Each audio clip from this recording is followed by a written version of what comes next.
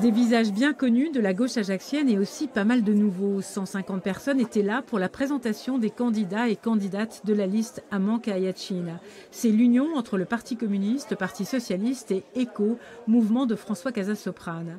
Ce sont les anciens alliés de Simon Renucci. Ils veulent capitaliser sur les réalisations de ces deux mandatures de 2001 à 2014. Nous avons été euh, élus, nous avons été conseillers municipaux pendant six ans, nous avons beaucoup travaillé et c'est vrai que nous aimerions continuer. Il faut opérer des virages, euh, des virages dans notre manière d'aborder, d'aborder le fait urbain, d'aborder euh, notre économie.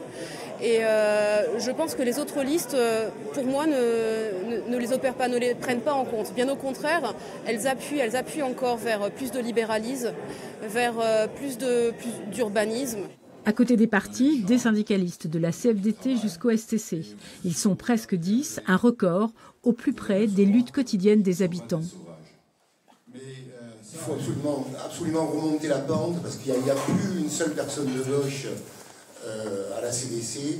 Donc il faut la gauche, il faut que la gauche se reprenne. Il faut aujourd'hui que la gauche représente la solidarité. Moi, solidarité, c'est un mot qui me tient vraiment à cœur.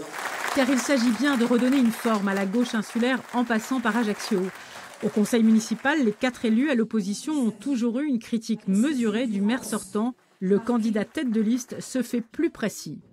Nous pensons qu'au niveau de cette municipalité aujourd'hui, c'est endormi complètement et nous sommes en train, à mon avis, j'ai bien peur qu'on retourne à la gestion passée de l'ancienne, l'ancienne équipe CCB et droite.